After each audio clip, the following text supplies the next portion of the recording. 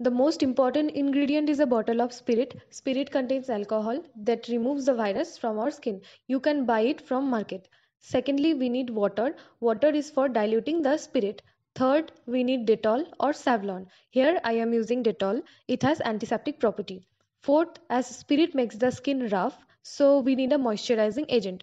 So we are taking pure aloe vera. You can buy any aloe vera gel from market also.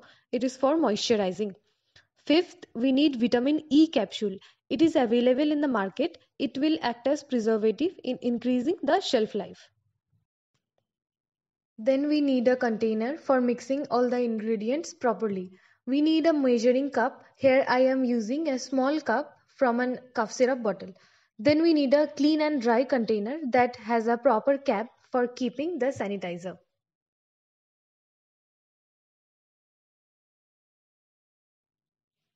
Now we are adding 3 cups of spirit 1 and 2 and 3. Then we will add 1 cup of water. Next separate the aloe vera gel and pour it in the mixture. Next cut 2 vitamin E capsule and pour the extract. You can also add 2-3 drops of essential oil. It is optional.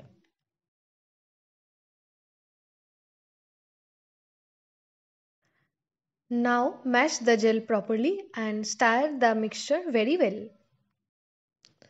So the preparation is over. Now put the mixture inside the bottle, close the cap, then shake the bottle a little bit, then it is ready for use. So by all these simple steps, you can make a hand sanitizer at home. You just have to confirm that the amount of spirit should be two-thirds of the total mixture.